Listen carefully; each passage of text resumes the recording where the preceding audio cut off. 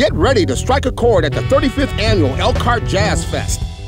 From Thursday, June 22nd through Sunday, June 25th, head to downtown Elkhart to celebrate jazz with over 50 acts across six stages. Friday's headliners are the talented Grace Kelly and Mindi Abair. And on Saturday, don't miss the four freshmen and Joey Alexander. Purchase day passes, weekend passes, or headliner tickets today or learn more at ElkhartJazzFestival.com.